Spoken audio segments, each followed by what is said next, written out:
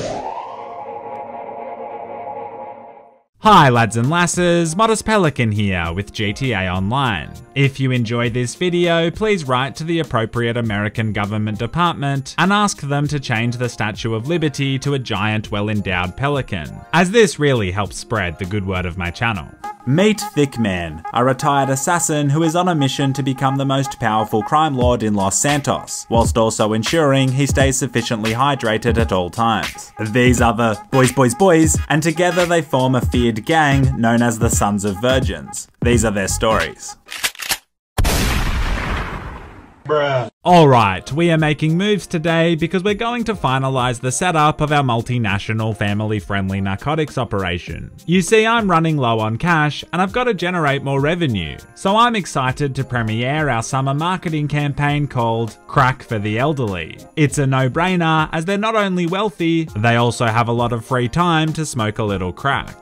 First, I head over to meet the lads at the casino. This is basically the designated meeting spot now because you get to spin the wheel, and I'm lucky enough to win $50,000. This brings our total account balance to $50,000. I'm so poor I can't even afford to pay respects by pressing F. At least Stealtho Carbo is here to lighten the mood. He's still pretending to be a 60s gangster, sort of like how I pretend that I'm not unironically pushing a communist agenda. We beat each other a little bit, but then realise together we are a far stronger force. Stealtho Marto arrives in his combi van with a surfboard on the roof, but the only thing he's surfing is an impressively vast range of softcore Christian anime. We can't just stand around pranking each other though because Grandma needs a fat line of freedom. So before we head to our new operation, I need to sell some coke that's been cooked up at the lab. I think it's pretty damn beautiful how many young kids play this game because it teaches them valuable life lessons. Like to never get high on your own supply, and that to be a successful dealer, you need to have great organizational skills and ensure you get a good night's rest. The good thing about selling to the elderly is that they'll die soon anyway, and of course, $126,000 in the bank. This is good money, but we simply need a lot more. The lads ask if I want to see their new cars, and this quickly becomes quite a hurtful exercise as they exclude me from their retro Comet gang. They call me names like Red Boy and Small PP Red Boy and annoying YouTuber Red Boy. Really emotionally scarring stuff. We decide to have a quick race before we head up north, but then this raccoon mask wearing Malacca walks right up next to my car and gives me the rude finger. I proceed to shoot him in the head with my micro Uzi. I don't know what it is about this raccoon, but on second thoughts I like his energy, so I decide to invite him into the gang for a while. He seems kind of unstable, like maybe he should talk to someone, but hey, it's funny because he's a raccoon. So as you know, last episode I purchased a weed farm and it's time to get it up and running. Very exciting times. Now selling coke, well that's a victimless crime, especially to old people. Selling weed however is the devil's work as it not only makes your peenie smaller, as we've previously established, it can literally just kill you instantly. I mean, I've assassinated people for money, I've killed literally thousands of innocent civilians, I've sold anything you could imagine, but I never predicted that I'd become a legitimate 420 ganja salesman. It's not very Christian, but I want the money so I can buy several cars and houses that I don't really need, so I'm at peace with it. However, the biggest problem with my weed farm is that there isn't any weed, it's just an empty warehouse. Marto pretends to be a weed plant to try and make me feel better, but it's just not the same. I mean, I appreciate his thoughtfulness, but this motherfucker can't even photosynthesize. We need actual weed and fast. I need to go and get the equipment, and apparently the van is up at the old sawmill. Retrieving this van goes relatively smoothly. This guy in his scramjet did sketch us out for a moment, but I guess he was just bird watching. Besides performing dozens of pit maneuvers on the van, he never shoots his missiles, so I'll take the W. And now the weed farm has fans, and soon it will have plants, we just have to wait a bit. Let's go. Farmers are so funny the way they nap on dirt roads like this. But then I see an opportunity to complete my life's ambition of being a sick lad. I steal this man's ute and pick up the boys. This may be the sickest stunt you'll ever see on YouTube. This is what we do here, we revolutionize the gaming world. We're like Elon Musk, but rather than launching some lame rockets to space, we launch epic boats into virtual lakes of opportunity. Marto asks if I can give him a ride to the mask shop, and so I say I'll give him a lift in my Deluxo. Now as you guys know, I was the first ever prank channel on YouTube. In fact, it's widely known that I pioneered the entire prank genre. We decide to prank these guys by attaching a sticky bomb to their car, but we get the timing all wrong, and Marto just explodes one of them while they're looking directly at him. Get pranked, big girls? I give that prank a 9 out of 10.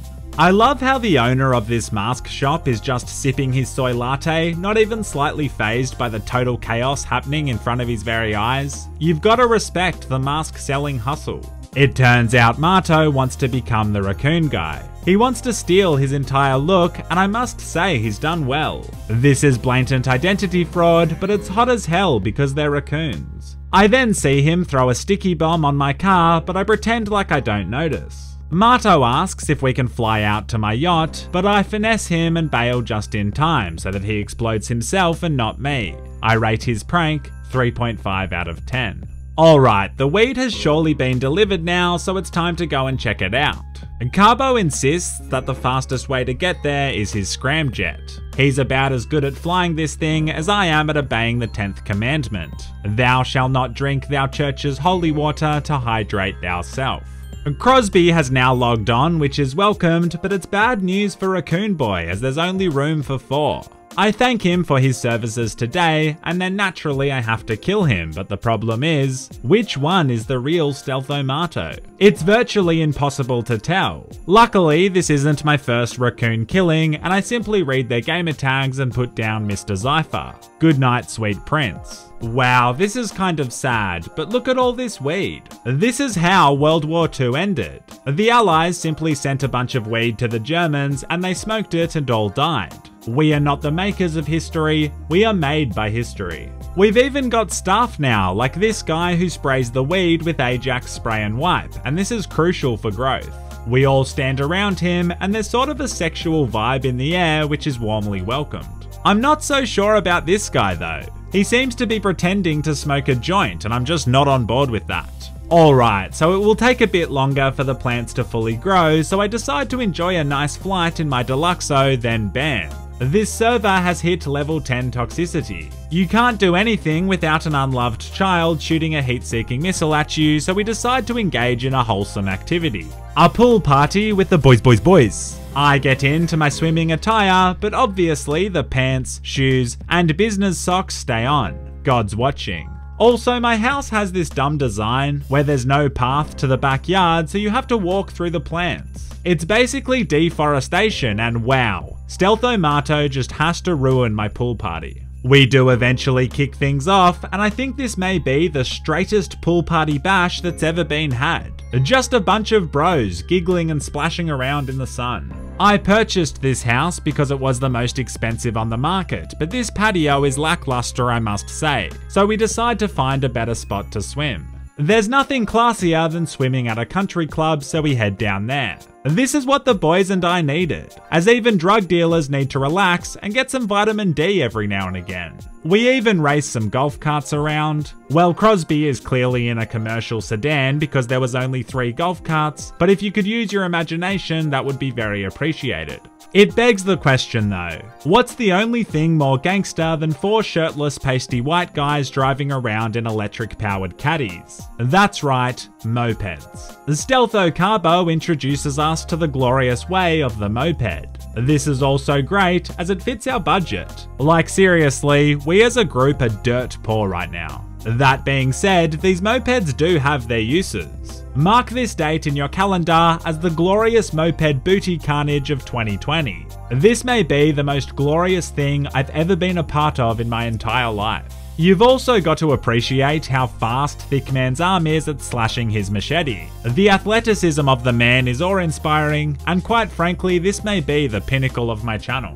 But then, we dare to dream. the double moped slash and dash. The little engine of this sucker can barely move us forward, but if this isn't motivating you to achieve your life goals, I frankly don't know what will. When America put a man on the moon, an entire nation applauded. But when the boys and I rode mopeds on the beach, the entire world looked at each other and realised that we're all the same on the inside, and world peace was achieved. Okay, we've become incredibly distracted, so we decide to do some repo jobs to make a little pocket money. Needless to say, repo just isn't our forte. Marto somehow broke not only his helicopter but also the spare. Whatever, the weed is probably grown now, but before we leave the city I have a problem that needs fixing. So this is my garage. Most of the cars are just the free ones you can get, but I won this at the casino ages ago, and I want to fix it up. I really want a yellow street car, and so I do my absolute best to customize the Rapid GT, pouring about $80,000 into it, and it looks like a piece of crap.